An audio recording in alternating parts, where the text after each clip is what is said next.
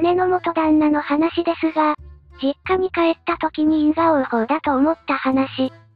9歳年上の姉は10代の時に子供ができにくいと言われた。その時は母と私の方がショックを受けて、昔から姉が大好きだった私は、なんでお姉がこんな目にいと騒いで母にげんこつされたらしい。記憶がない。そんな姉は23歳の時にプロポーズされたけど、後取りが必要な家だったからと断った。けど子は授かり物だからと再度プロポーズを申し込みに実家まで来てくれて。両親は嬉しそうにしてたし、その場にいた私もちょっと泣いた。二人は結婚したけど、2年経っても子供には恵まれず。でテンプレのように男は不倫。田舎だからすぐにバレた。けど自分のしたことを棚に上げて男は姉や両親を罵倒。姉と結婚したのは男が優越感に浸れるからだと思った。馬詰めに結婚歴くれてやったんだからありがたいと思え。って言ってたのは未だに許せん。最初はおとなしく聞いていた姉もさすがにその言葉で目が潤んでて、私はそれを見て号泣。結局姉に一生できないこと。妊娠をプリン女が果たしてくれたと慰謝料を渡されて姉は離婚。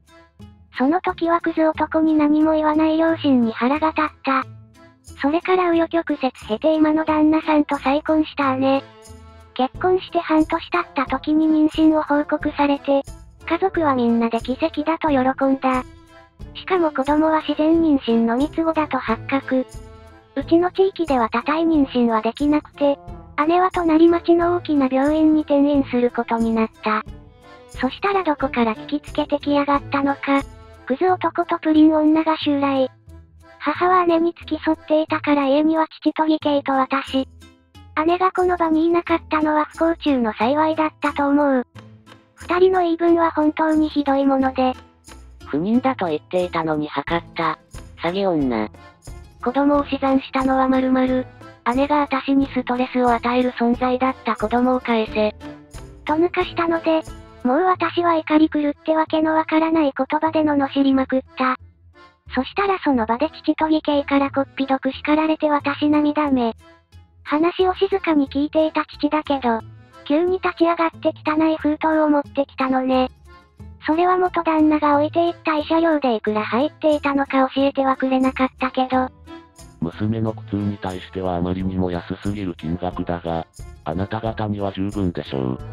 と父がすっごい冷たく吐き捨ててくれた。義兄も。子供は授かり物ですし。親を選んで生まれてくるのはあながち間違いではないのかもしれませんね。とにっこり嫌味を言ったら、お金はしっかり持ってそそくさと出て行った。極めつけに。金輪際。妻の名前を口にするのはやめてください。妻が汚れます。と笑って追い払ってくれた。二人が帰った後、父は感情に任せて口汚く罵った私をたしなめた。義兄もほっとした様子で、私が危害を加えられなくてよかったと言ってくれて、その時に自分勝手に人を罵倒した自分を恥じました。やってることは自分がクズだと思ってる人と同じだと知ったから、普段全く怒らない人だったから静かに怒ってる父と兄はすごく怖かった。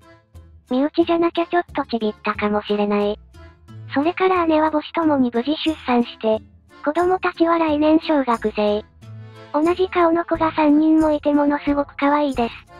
元旦那と女はあれから流産と死産を繰り返していたみたいで、本当に不妊になってしまったみたい。それと私が地元に帰った時には彼らの病院が閉鎖していました。周りは家も子供も失って気の毒だと言ってて。私もそうだね。と合わせていたが因果応報だと思った。以上です。長くなってすみませんでした。彼らの病院が閉鎖。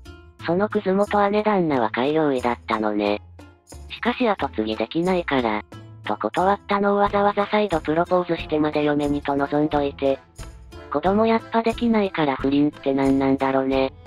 しかも医師の資格持ってて奇跡の三つ子妊娠を不妊と欺いたとか。何のメリットもないのにそんなことするかって話。そんな流産死産繰り返すプリンとそれでもくっついてるのもまた不思議。お姉さんの時みたいに、別の人と不倫してプリン1号をさっさと用済みにしないのはなぜ？よく考えると無駄なことばかりしてるクズ男だね姉との離婚理由は後継ぎが産めない嫁。姉に非があるだから。ということだったのですがプリンは一度妊娠していますし。離婚したら子供を失った妻を捨てる薄情な夫だと思われるからとか。対面が何より大事な人だったので。あとプリンの実家が結構裕福だからかな。と。最後までご視聴ありがとうございました。皆様の感想よろしかったらコメント欄でお聞かせください。励みになりますのでチャンネル登録高評価よろしくお願いいたします。